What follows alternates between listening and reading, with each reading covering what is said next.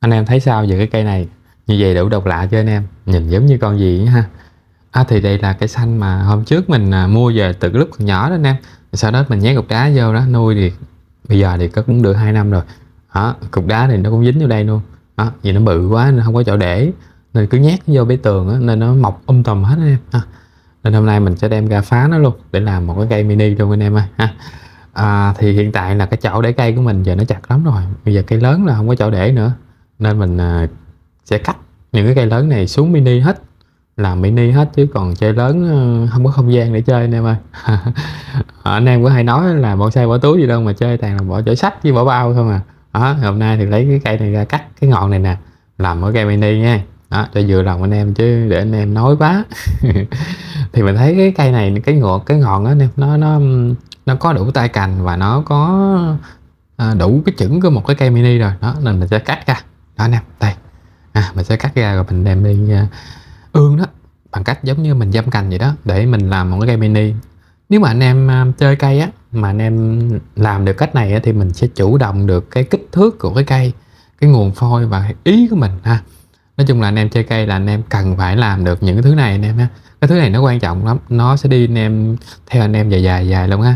Từ cái việc mà phẫu thuật cắt xẻ ha kể cả mình cắt những cái đoạn thân đoạn ngọn tất bất kỳ mà anh em có thể à, dâm ủ để cho nó sống. Thì đương nhiên là là nó nó nó không phải là lúc nào cũng thành công nhưng mà anh em làm đi cứ làm đi. Nếu mà nó thất bại thì anh em sẽ có được kinh nghiệm ha. Làm chừng chết chừng vài lần là anh em sẽ có kinh nghiệm để anh em làm cho nó sống à. Đó.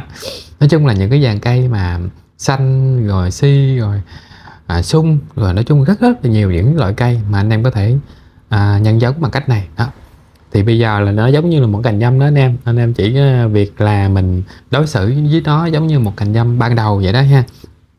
Thì trước mít ờ, trước mắt là mình cứ ờ, cắt xong, mình gọt. Anh em nhớ nha, lưu ý khi mà dâm cành hoặc là anh em làm cách này thì cái vết cắt nó rất là quan trọng. Nó có ra rễ hay không là do từ cái chỗ này. Đó, xử lý cho nó ngọt ha.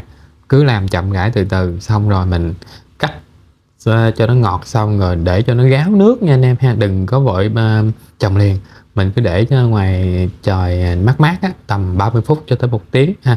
Cho nó khô cái mặt cắt đi rồi mình bôi keo liền sẹo vô. Đó xong rồi mình hãy đem trồng ha. Trồng thì anh em cứ ờ, cắm dừa cát xây dựng chọn lại thôi. Đó thì cứ chùm bao ni lông lại và kiểm tra cái độ ẩm của nó nha. Thì giống như những cái clip mà mình chia sẻ lên dâm cành đó anh em cứ áp dụng cách đó là nó sẽ thành công thôi đó còn cái cây này thì bây giờ là mình sẽ bỏ luôn cái khúc uh, khúc gốc này này mà ha. Mình chơi mini thì mình dứt luôn cái chỗ này. Đó lấy một cái cục cái cục uh, ở trên này nè nó dính cục đá đó anh em. Đó cái này thì uh, bỏ không, không chơi cái này. Đó. thì uh, bây giờ là giống như là từ một cái cây xanh ban đầu bây giờ còn hai cái cục hai cái cành dâm đó nó như vậy. Nhưng mà cái chỗ này thì được có cái là nó hai cái rễ nó có hai cái rễ rồi. Thì mình sẽ à, tận dụng hai cái rễ này để mình à, à, nuôi nó. Đó. Thì anh em cứ xử lý anh em ha. À, gọt cho nó sạch sẽ cho nó mịn ra ngoài đó thì mình sẽ kiểu này anh em ơi. Định là định chơi kiểu này nè. Nó chơi cho nó lơ lửng lưng chừng trời vậy đó. Thì à, để cố định được cái viên đá với cái cây này á cho nó lơ lửng thì mình cột cọng dây nè. Đó mình thì thích chơi kiểu là nó độc lạ chứ mình không thích chơi kiểu truyền thống. Đó thì hy vọng nha hy vọng là không biết nó vượt qua được hay không. Nếu mà nó vượt qua được à, hai cái rễ này nó đủ nuôi cho cái cây này nó sống thì trong tương lai thì nó sẽ phát triển thêm nhiều cái rễ nó buông xuống nữa đó anh em. Đó đó là hy vọng thôi chứ còn à, giờ sống chết chưa biết nha. Cũng không dám chắc được đâu. Đó làm thì cũng liều thôi. Nhưng mà anh em cứ làm đi chết chết cái này thì mình có kinh nghiệm mình à, làm cái khác nha. Đó thì à, mình sẽ thòng hai rễ xuống. À, cái dòng xanh thì nó sẽ dễ anh em nó sẽ dễ. Nó sẽ dễ à, hơn so với những dòng cây khác lắm. Anh em cứ làm đi. Và anh em không có vội vàng nha cứ làm đợi cho nó khô ráo đàng hoàng hết rồi. Thì cứ à, cát cám dừa bỏ vô thôi. Ừ. trong thời gian này thì anh em cứ um, chùm bao ni lông lại. Và khi anh em chùm anh em nhớ để ý nha khi mà độ ẩm trong môi trường bao ni lông nó cao nó nhiều á là nghĩa là anh em thấy cái cái cái à, cái hơi nước nó rất là nhiều thì mình nên cắt một hai lỗ để cho nó thoát bớt. Còn nếu mà nó thiếu thì mình xịt nước mình tưới thêm. Đó anh em cứ canh làm sao mà cái độ ẩm nó vừa đủ để nó ra rễ là ok. Đó. Thì à, bây giờ là mình sẽ đem đi ủ nó còn cành dâm này mình cũng đem đi dâm